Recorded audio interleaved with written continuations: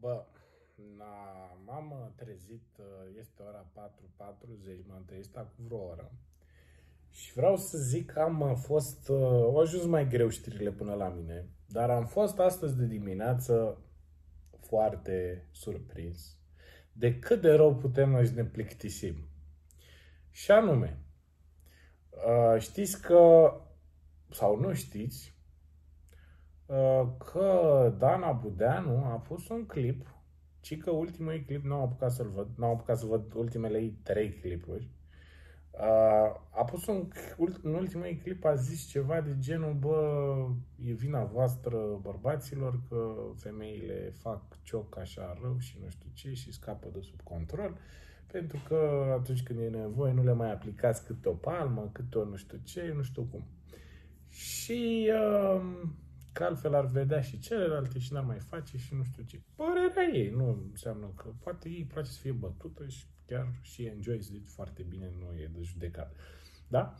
Uh, bă, dar uite că există niște persoane în timpul acestei pandemii din România care evident că n-au, n-au nimic de făcut, că ce să faci în casă, și femeile s-au gândit, domne, uh, noi, uh, grupul uh, feministelor cretine, ca de obicei, că așa, așa sunt. Credeți măcar nu știți ce înseamnă feministă, da? Deci nu, da. clar, nu aveți majoritatea nicio idee. Uh, trebuie să mergem la parchet, să facem plângere, că domne asta instigă la violență, face drege, nu știu ce. Eu vă întreb, credeți voi că în momentul ăsta, în uh, contextul actual, uh, patologic, social, whatever, parchetul n-are nimic mai bun de făcut decât să analizeze dacă nu știu cine pe internet într-un vlog a zis că și nu știu ce și nu știu cum. Dacă n-ați mai fi atât de proaste în primul rând și după de la proaste frustrate, n-ați mai avea preocupări de genul ăsta zic. Și atunci ar fi mult mai ok, că sunt lucruri mult mai importante. Dacă aveți voi hobby-ul vostru, e să dați oamenii în judecată că nu știu ce au zis pe internet, puteți să o faceți mai până iunie, mai iulie.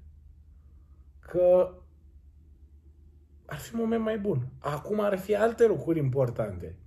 Plus că voi dacă chiar vreți să fiți proaste așa până la capăt și cretine, în stilul caracteristic, ați putea să vă legați măcar de un subiect de actualitate.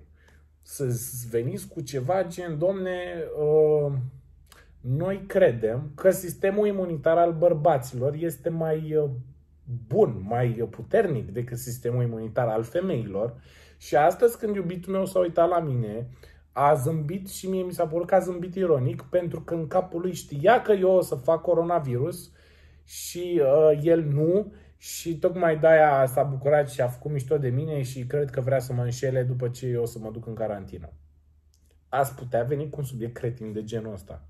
Că are cumva mai mult sens în contextul actual. Adică tot e o prostie cum fac feministele de obicei și măcar te ia cineva în seamă, bă, uite, e legat de gripa asta și atunci, a, altceva. Dar, mă rog, nu prea pot să mă să am așteptări. Adică majoritatea feministelor nici măcar nu știu de unde a pornit curentul ăsta. Nu știu care e scopul. Deci scopul nu este uh, discriminarea de nu știu ce fel. Nu.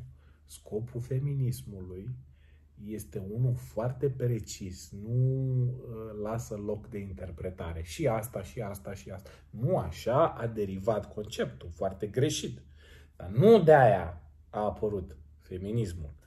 Puteți să vă uitați la istoria feminismului și o să vedeți că sunteți foarte pe lângă.